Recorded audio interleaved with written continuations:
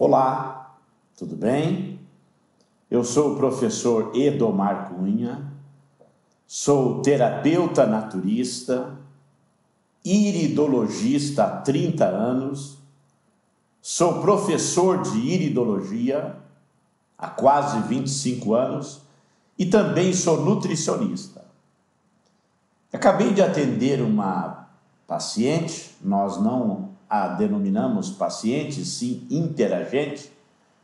E aí deu um espaço agora aqui no consultório, um tempinho, eu pensei, vou gravar isso aqui, eu preciso é, contar para os meus é, seguidores o que a gente observa.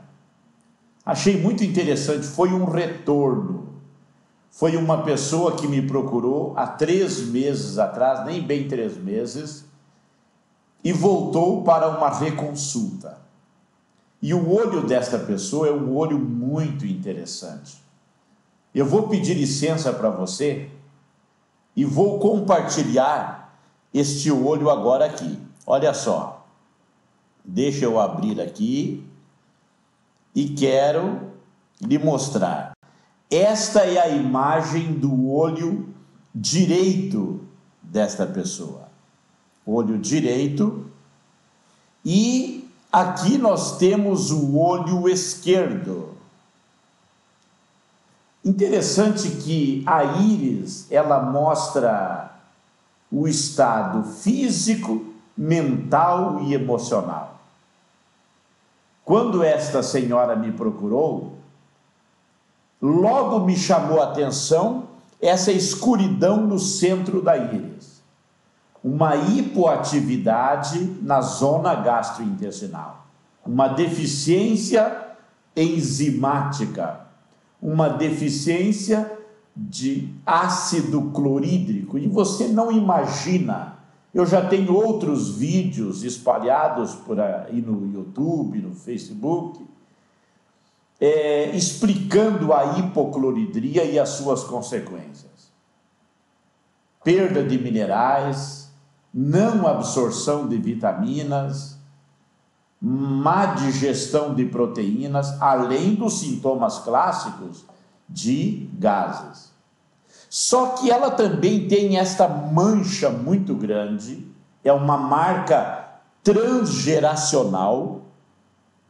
Ela tem essa, aqui pega a região do ombro, pescoço, ouvido, depois ela que tem na área urogenital, na íris esquerda, novamente na área renal, na área do peito, uma escuridão muito grande na área cerebral, na área psicológica, bloqueios muito acentuados. Só que ela tem uma ferrugem impregnada na sua íris. E sabe qual que era a principal queixa que ela veio me buscar há três meses atrás? Dores. Dores no corpo. Travamento. Ela esboçava no semblante um semblante de dor, de sofrimento, há muitos anos. Carregando muito peso no corpo. Na verdade, eram dores de alma, de um padrão de rigidez muito grande, acompanhado de um estilo de vida insalubre.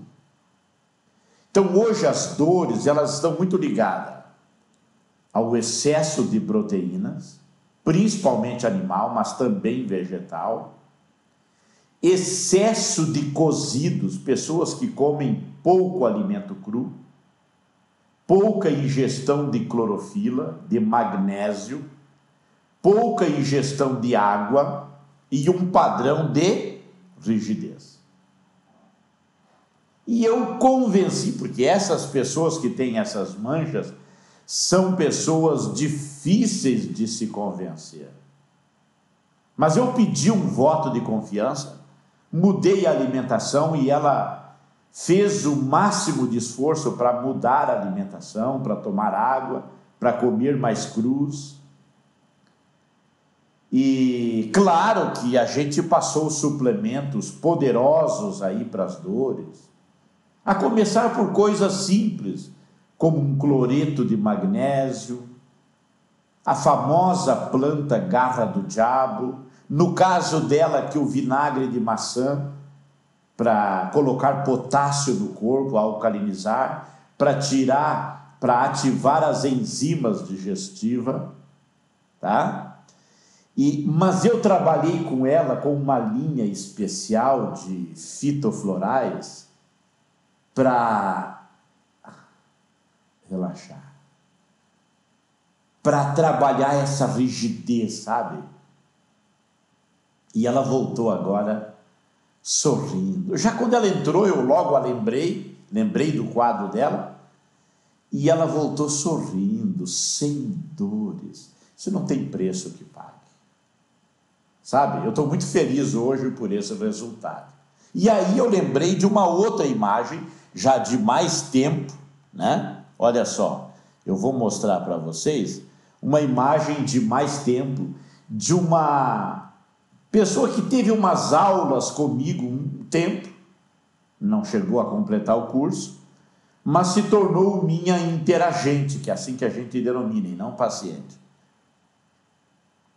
E ela começou o tratamento. Todas as pessoas que saem do meu tratamento, eu, eu deixo uma plaquinha pendurada no corpo. Desculpe os transtornos. Estamos em reforma, estamos em obras. E a pessoa pode ter crises de diarreia, de muitos gases, de ressecamento, de dor de cabeça, de secreção de muco, de corrimento.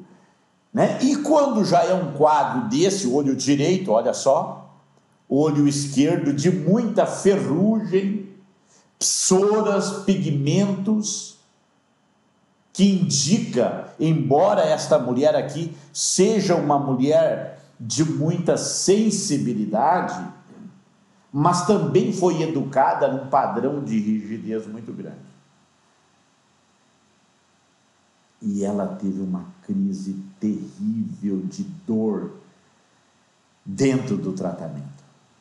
E ela era uma comerciante, tinha uma loja de material de construção junto com o esposo, mas o esposo era carona, ela que administrava tudo.